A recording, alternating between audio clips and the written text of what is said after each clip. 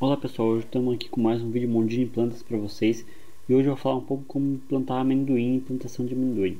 Bom, o amendoim tem três principais grupos de cultivares, tem o grupo espanhol, tem o grupo valência e o grupo virgínia.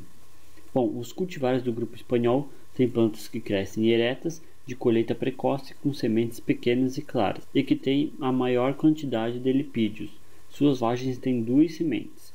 Os cultivares do grupo valência também têm plantas que crescem eretas, de colheita precoce, mas suas sementes são escuras e suas vagens têm de 3 a 5 sementes. E os cultivares do grupo Virgínia têm plantas muito ramificadas, de crescimento arbustivo ou rasteiro, e de colheita tardia. Apresentam sementes grandes, geralmente com duas sementes por vagem. Bom, o clima. O amendoim pode ser cultivado em regiões que apresentam temperaturas médias entre 20 graus Celsius e 30 graus Celsius durante todo o ciclo de cultivo da planta. A planta não suporta baixas temperaturas.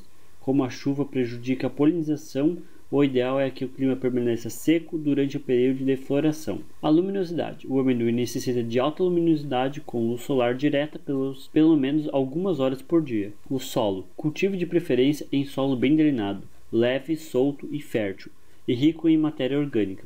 O pH do solo ideal para o cultivo de amendoim situa-se entre 5,5 e 6,5. A planta pode formar em suas raízes uma associação simbiótica com bactérias conhecidas como ribose, capazes de fixar o nitrogênio do ar no solo, como amônia ou nitrato, provendo pelo menos parte do nitrogênio necessário para as plantas. A irrigação. Irrigue de forma a manter o solo sempre úmido, sem que fique encharcado. Durante a floração, reduza ou suspenda a irrigação para não prejudicar a polinização. O plantio. As sementes geralmente são plantadas direto no local definitivo. As sementes também podem ser plantadas em pequenos vasos ou copinhos de papel jornal com 10 cm de altura. As mudas são transplantadas quando têm de 10 a 15 cm de altura. O espaçamento recomendado é de 15 a 30 cm entre as plantas e de 60 a 80 cm entre as linhas de plantio. O amendoim pode ser cultivado em vasos e outros containers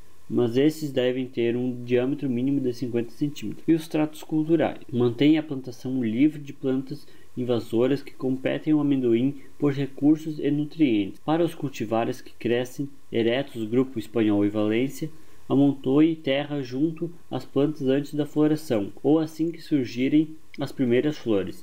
Isto facilita a chegada do ovário da flor ao solo e melhora a produtividade. A colheita. A colheita das vagens pode ser feita de 100 dias a quase seis meses após a semeadura, variando conforme o cultivar da planta e as condições de cultivo. A colheita do amendoim é realizada quando as folhas das plantas estão amareladas. Retire algumas vagens da terra e verifique se a parte interna da vagem apresenta veios mais escuros, o que indica que estão maduras e prontas para colheita. As plantas são arrancadas do solo e deixadas em local protegido de chuva e umidade, com as raízes e vagem expostas, para secagem por uma ou duas semanas. Se a colheita for atrasada, ao arrancar a planta, as vagens podem se destacar da planta e ficar no solo. Após a secagem, as vagens se soltam da planta facilmente e podem ser recolhidas e armazenadas em local fresco e seco por vários meses. Ou os amendoins podem ser retirados e utilizados. Bom, o vídeo Mundinho Plantas fica por aqui. Quem gostou, deixe seu joinha, compartilhe o vídeo, inscreva-se no canal e até mais, pessoal.